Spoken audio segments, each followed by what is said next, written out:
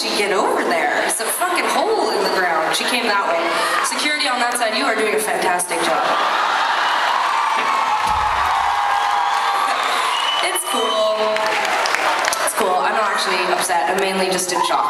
But not because someone was on stage. I wasn't actually afraid of the person. I was mainly just afraid because I opened my eyes and I thought Sara had had an injury because you were weren't where you usually are and there was commotion and I was like, oh god, Sara had an asthma attack. I was like, I thought it was. What did you think it was? Maybe- do tell me what did you think it was? I thought that someone would come over to tell me something bad was happening because they sort of seemed concerned, like they were going to tell me something. I thought they were going to be like, the whole PA's off. You guys are just miming. Stop it. You look horrible. It's ridiculous. I'm embarrassed for you. Stop. But it was sort of like a lady because she had long hair too, and so I was like,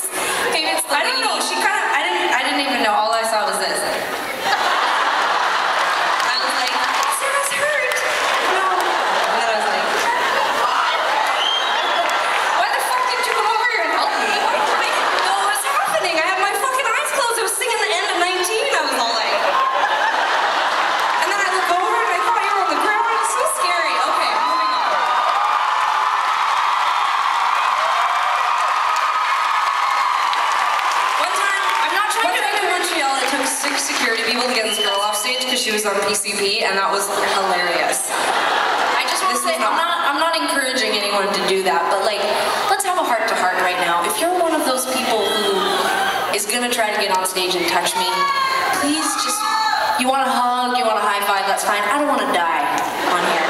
I don't. I just don't. I mean, I want to, I want to pass through life like everyone else and become earth and soil and all of that, but I just don't want to go now. I just, I like my clothes and my, and my haircut,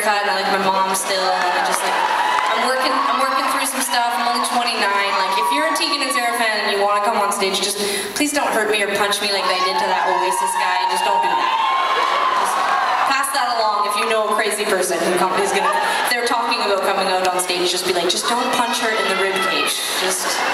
Use your guitar to protect you. Okay, let's yeah, let that part of the show go. Here's a song called Where Does the Good Go?